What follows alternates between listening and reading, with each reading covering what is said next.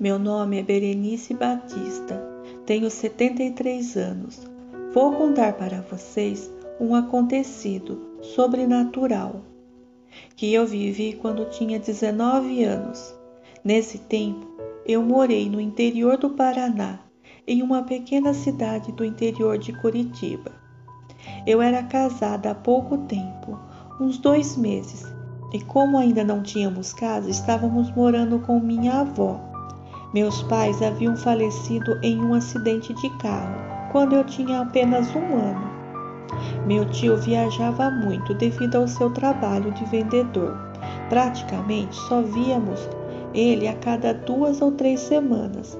Então, a maioria dos dias era só eu e minha avó e meu esposo. Sempre que aparecia uma casa à venda para irmos ver, a minha avó dizia que ali era nosso lar e que não precisávamos de outro lugar.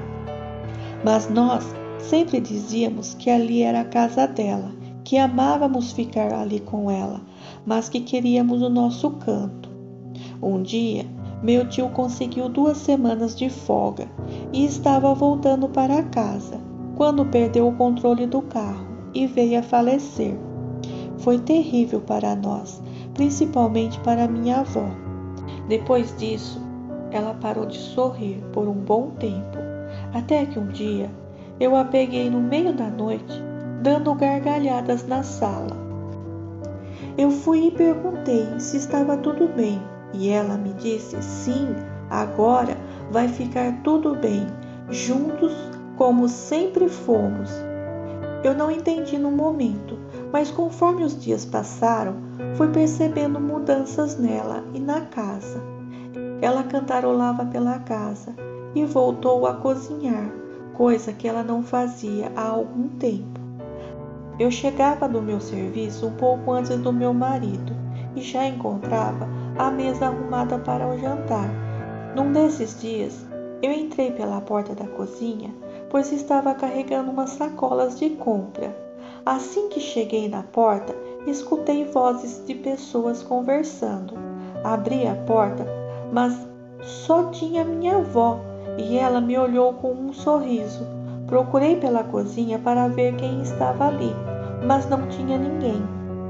Perguntei com quem ela conversava e ela só me disse: com meus filhos. Na hora eu não entendi, mas quando estava tomando banho, voltei a pensar no que ela disse e me lembrei daquela noite que ela ria muito na sala e me veio um arrepio.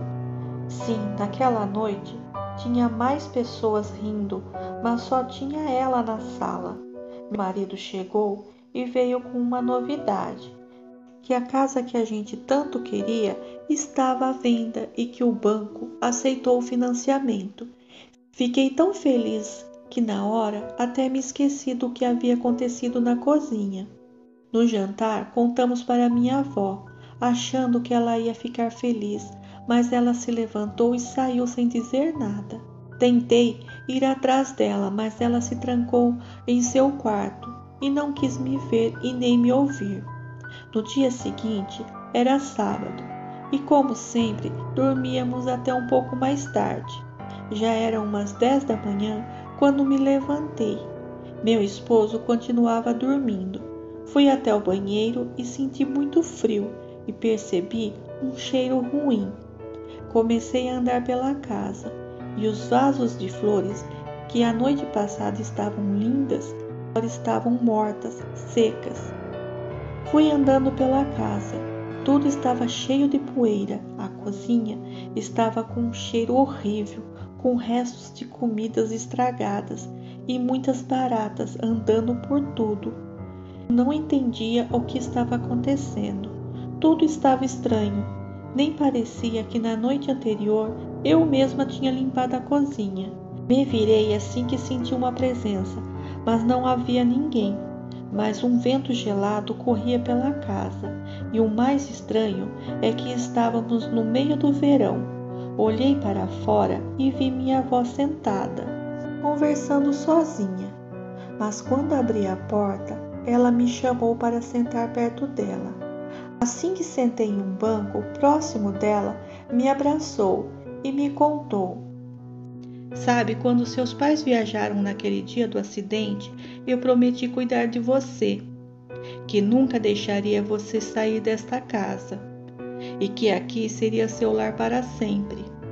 E sempre quando seu tio saía de viagem, ele me pedia o mesmo, para cuidar de você e de seu esposo. Agora você e seu esposo querem me deixar sozinha não vou conseguir cumprir a promessa que fiz para meus filhos, e eles estão muito bravos comigo. Eu olhei para ela e para onde ela apontava, e com os meus próprios olhos eu vi três vultos sentados no chão.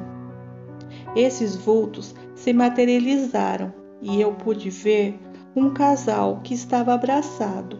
Esses eu só conhecia por fotos eram os meus pais e o outro era o meu tio. Eu não conseguia entender o que eles falavam.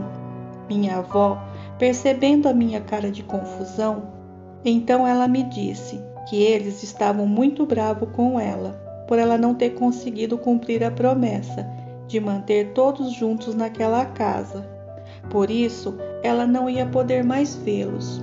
Nesse momento, meu esposo saiu pela porta da cozinha, todo feliz com uma xícara de café nas mãos, dando bom dia para nós, e se sentou bem no lugar onde estavam os espíritos, mas que já não estavam mais ali, haviam sumido. Entrei assustada e correndo para dentro de casa, e tudo estava normal. Nem o cheiro ruim, nem poeira, nada Voltei para fora e vi minha avó se levantar sem dizer nada. Passou por mim e entrou na cozinha. Olhei para meu marido e vi que ele nem percebeu o que estava acontecendo. Entrei e fui direto para o quarto da minha avó, e lá ela chorava. Então eu a abracei e disse que ela não precisava chorar, que ela não ia ficar sozinha, que ela ia para a casa nova com a gente que o plano sempre foi esse, pois aquela casa era muito antiga e distante de tudo, e a avó teria mais assistência futuramente. Outra casa era perto do comércio, de escola, de hospitais, mas minha avó me olhou assustada e disse que jamais poderia deixar a casa, que eles não iam permitir ela nem terminou de dizer isso e tudo ficou escuro. Um forte baque foi ouvido. Abri meus olhos e já era claro. E um grito de socorro foi ouvido. Levantei correndo e fui às pressas para a cozinha. Uma cena horrível. Meu esposo espatifado no chão, com a perna dobrada para trás, provavelmente quebrada ele havia escorregado em algo e caído. Levei ele para o hospital e foi confirmado que sua perna estava quebrada.